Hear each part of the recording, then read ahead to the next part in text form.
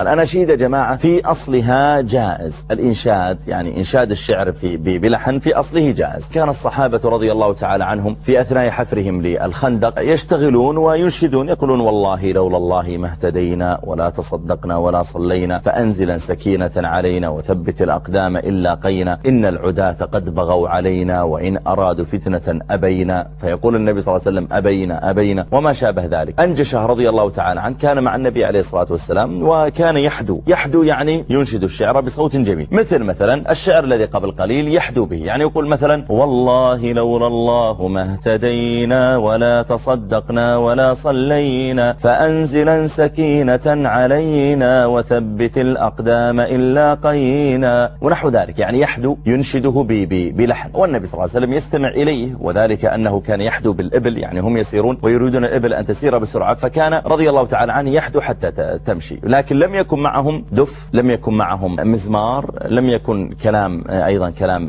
فيه نوع من الفحش لم يكن معهم أي نوع من أنواع المعازف. بدأت الأناشيد حقيقة قبل سنوات على مثل هذا الحال يعني على مثل حال منضبط. أناشيد بأصوات شباب أصواتهم أصوات رجال ليس فيها تغنج ولا آهات ولا تمايل إلى غير ذلك. بدأ الحقيقة النشيد الإسلامي ينحدر وبدأ يدخل فيه أنواع من الآهات وتنعيم الأصوات وترقيقها. بدأت تدخل فيه أنواع من الإيقاعات ثم قالوا هذه إيقاعات بشرية والإيقاعات البشرية يأتي يصدر أصواتا معينة مثلا تسجل في الكمبيوتر مثلا أو في البيانو ويبدأ ينشد المنشد والعازف أو المهندس يبدأ يضرب عليها فيعطي مثلا إي أو آ ونحو ذلك يركبها على بعض ويرققها ويفخمها حسب موجات الكمبيوتر حتى تصبح أحيانا نوعا من الإيقاع البشري. بعد ذلك صارت المسألة موسيقى صريحة. بدأوا الآن يستعملون البيانو الصريح والمزمار وضرب العود وما شابه ذلك وصارت هذه الأناشيد هي مثل الأغاني مئة في المئة بل حتى أحيانا في مسارحها وربما صار فيها اختلاط نساء برجال أيضا. الأنوار التي تخرج أصفر وأحمر وأخضر ومدري إيش ربما قام البعض يرقص أيضا عليها بل حدث مع الأسف في بعض الحفلات الإنشادية أن بعض الشباب قاموا يرقص كما يرقص في الحفلات الغنائية. إن لم يكن هذا حقيقة هو الغناء فما هو الغناء؟ إنما الفرق بين هذا النشيد وبين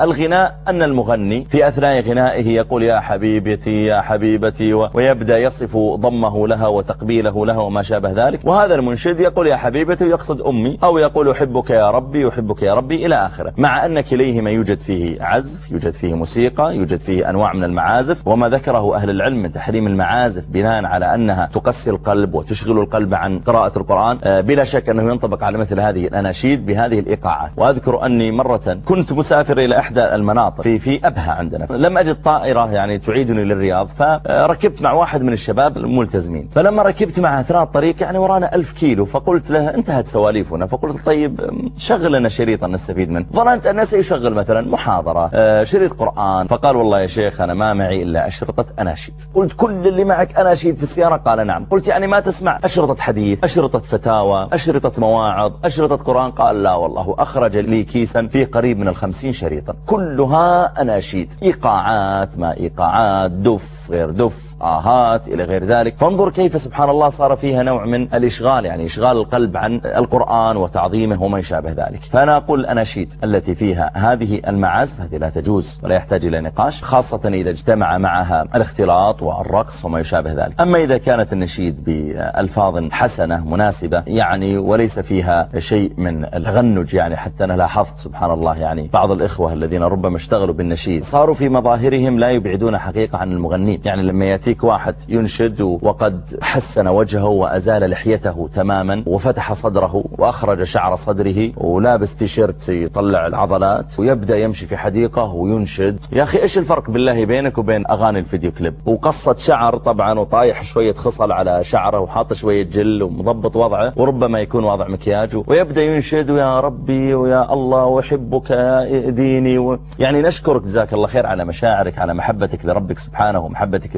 لدينك. لكن لا ينبغي في الحقيقة أن يصنف هذا ويقال هذا نشيد إسلامي وهذا جزاه الله خير منشد إسلامي. يا أخي منشد إسلامي فاتح قميصه حتى أخرج بعض صدره ولابس لبس غير مناسب وقصة شعر غير مناسبة وربما وضع شيئا من المبيضات على وجهه ويقول والله هذا نشيد إسلامي. لا ينبغي أن نصل حقيقة بالانحدار بالنشيد الإسلامي إلى هذا الحد. إن كانت قصائد تحث على الرجولة الرجولة تحث على الكرم تحث على معالي الأخلاق تحث على بر الوالدين تحث على الصدقة تحث على يعني شعائر الدين العامة ما في بأس. لكن يا جماعة أن ينحدر الأمر إلى أمور تافهة تضيع الوقت. لا ينبغي أن